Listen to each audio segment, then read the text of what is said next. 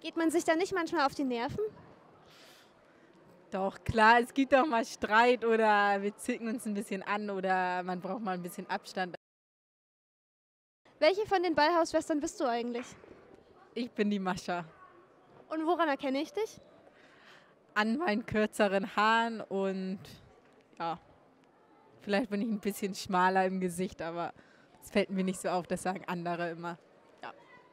Und was gibt es sonst noch für Dinge, die dich ganz sehr von deiner Schwester unterscheiden? Gar nicht mal so viele. Also ich glaube, wenn man uns kennt, dann nach, also nach einer Zeit kann man uns eigentlich relativ gut auseinanderhalten. Aber so pauschal kann ich jetzt auch nicht sagen, was uns jetzt so voneinander unterscheidet. Und wie sieht es auf der Matte aus?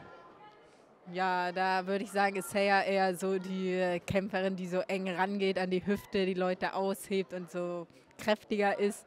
Ich bin da eher so die, die ein bisschen weiter auf Abstand kämpft und halt unsere Techniken sind auch unterschiedlich, die wir werfen.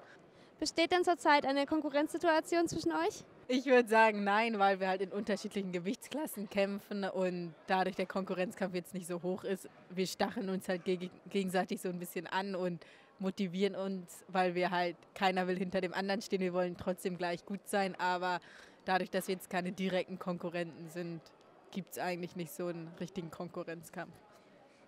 Ihr habt ja das Motto One Team, One Dream. Was steckt eigentlich dahinter?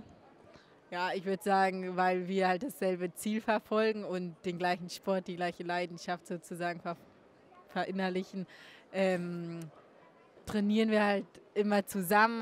Also wir sind halt auch zu Hause Trainingspartner, trainieren in jedem Training zusammen, motivieren uns gegenseitig, wenn einer vielleicht mal gerade einen kleinen Durchhänger hat oder wenn mal einer verloren hat, der andere den aufbaut und wir zusammen sozusagen unser Ziel erreichen wollen. Ja. Geht man sich da nicht manchmal auf die Nerven? Doch, klar, es gibt auch mal Streit oder wir zicken uns ein bisschen an oder man braucht mal ein bisschen Abstand, aber eigentlich nach einer gewissen Zeit verfliegt das schnell wieder. Wer ist denn besser in der Schule? Ich bin ein bisschen besser. Was ist dein Lieblingsfach? Ich würde sagen Mathe. Und deine größte Schwäche? Englisch. Ja, ich bin nicht so der Sprachbegabte. Also eher die Analytikerin. Was finde ich denn immer in deinem Kühlschrank? Ach, Käse. Ziegenkäse. Schokolade oder Gummibärchen? Eindeutig Schokolade. Wen siehst du gerade ähm, als deine national ärgste Konkurrentin an?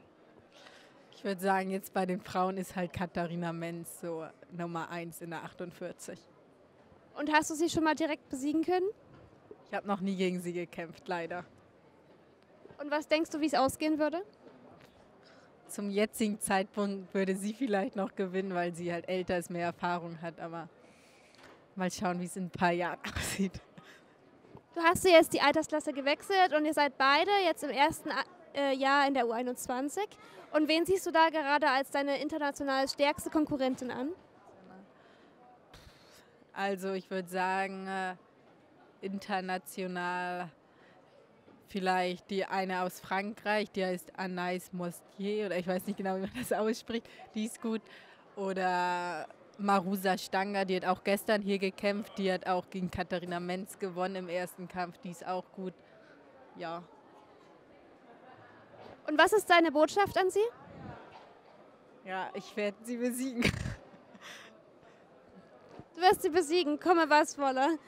Ich hoffe, das äh, lässt sich auf alle Bereiche in deinem Leben übertragen. Vielen Dank für das Interview und deine Zeit. Ich hoffe, du hast noch ganz viel Spaß hier beim Zugucken. Dankeschön.